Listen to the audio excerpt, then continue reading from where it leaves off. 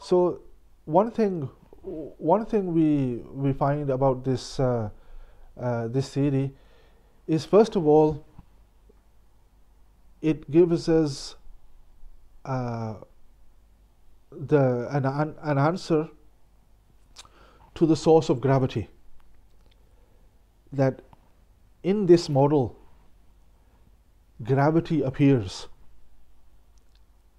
The the the fabric of space is coming down, and the component in the fabric of space is the Higgs field. The Higgs field coming down will cause gravity. Then the other thing it kind of uh, solves is the vacuum catastrophe. The vacuum catastrophe is the in empty space we can only observe a very small amount of energy, but according to quantum field theory and accord, according to Hawking's theory, Hawking's radiation, vacuum, the vacuum does contain a large amount of energy, but in a, in a form that cannot be detected. So if, if you add the, the quantum gravity, uh, the quantum theory of gravity that we've come up with, only those particles that consume energy will create gravity. And if the energy inside the vacuum is of a, of, of a form that doesn't consume energy, then it's not going to create, create gravity.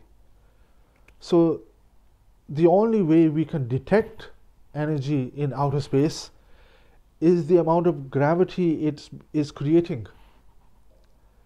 So, so th this is the dilemma we have. We, the, the, we only have one way to detect energy in outer space, that's through gravity. But if you have gravity, uh, you have energy that doesn't cause gravity, meaning it's not, it doesn't require energy for itself. It's a, it's a supply form of energy. It's not the form of energy that uh, we know uh, in, in, in this world that requires energy from the vacuum. So uh, if you if you look at our model of gravity, then you can have energy in the vacuum and it doesn't need to cre create gravity.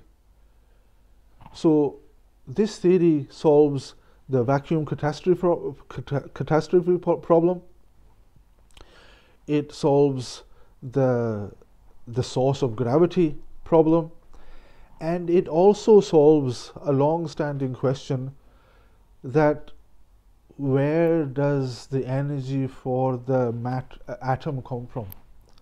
This has been a long, long-standing puzzle that we see so much activity inside atoms, inside protons, inside neutrons, to the extent that 98% of the mass is being created by the activity of, of, of the components of the neutron and the proton. And where is all this energy coming from? We don't know, we can't see it, and we, we have no theory to kind of uh, answer this. But our theory of quantum gravity answers it in a very eloquent manner that the, th uh, the energy in vacuum space is the energy that feeds the atom. So that's three major problems solving each other by solving, uh, try, we're trying to solve gravity and we've solved three other major problems.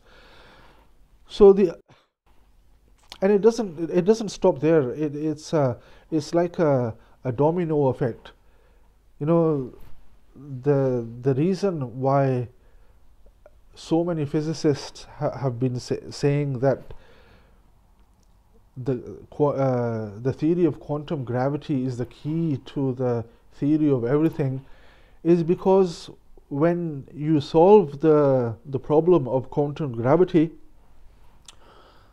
it starts to come up with solutions to problems that you you, you was you, you weren't even looking for so another another problem that is solved in in this kind of manner is the gravitational time dilation. Now, you would think, what's that got to do with with all this? So, first of all, gravitational time dilation. What is gravitational time dilation?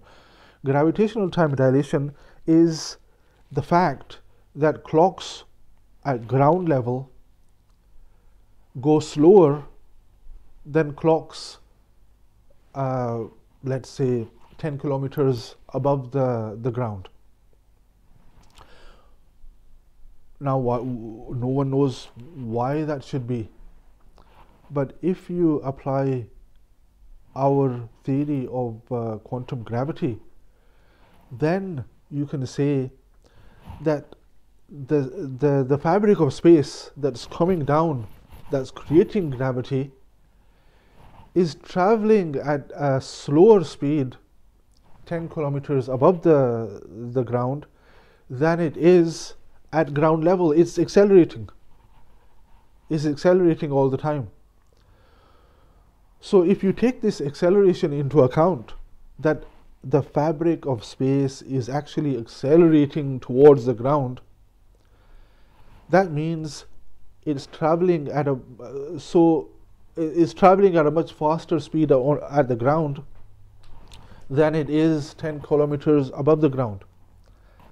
And according to uh, uh, Einstein's theory of relativity, anything that travels through space, the faster it travels, the slower time will become. For example, uh, a photon traveling at the speed of light doesn't feel time at all. Anything traveling at the speed of light, time stops. But it also slows down the closer you get to this uh, the speed of speed of light. So on one hand, you're at a standstill. The clock there will go a lot faster than the clock that's traveling at a fast speed. The faster the speed is, the slower the clock will become. So that's a, a, a, a well-known established fact that that is uh, the way nature works. So you, if you put, uh, if you uh, apply the same theory to the the theory of quantum gravity, a clock will uh, slower at ground level because the speed of uh, space is faster. And at 10 kilometers, the clock will go faster because the speed of space is slower. So this this uh, this theory of quantum gravity has solved four major problems and it solved them in a very kind of uh, uh, a very natural way that yes that's that's how it must be happening so the fifth the fifth problem it solves is is called uh, uh, what do you call the gravitational curvature of space. Now, why should space curve, or why should be there? Why should there be a curvature of space?